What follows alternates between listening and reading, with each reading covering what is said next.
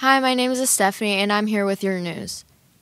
LHS is having their annual spring greenhouse sale. This year, we will offer ferns and mixed baskets through pre order.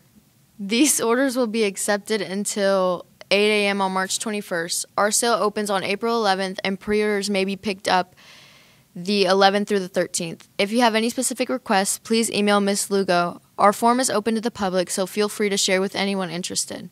Juniors interested in applying to Girls or Boys State may pick up information in the Counseling Center until April 15th. Congrats to Sora Mosley, Candace Tomlinson, and RJ Lewis for placing third in the state ProStart competition. And congratulations to Madison Vance for being named Cafe Blues Chef of the Month. Teachers, check your email for information regarding summer learning camp opportunities. Applications will be available the week of March 4th.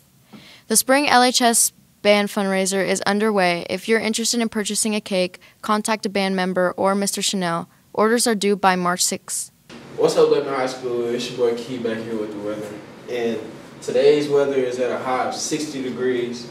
It's supposed to get down to a low of 42 tonight.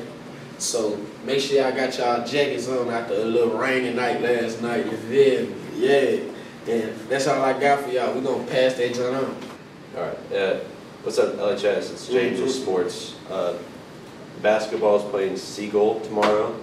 Uh, baseball is playing Central today, but it's a scrimmage. And then the NBA, we got the Grizzlies playing the Clippers at 7.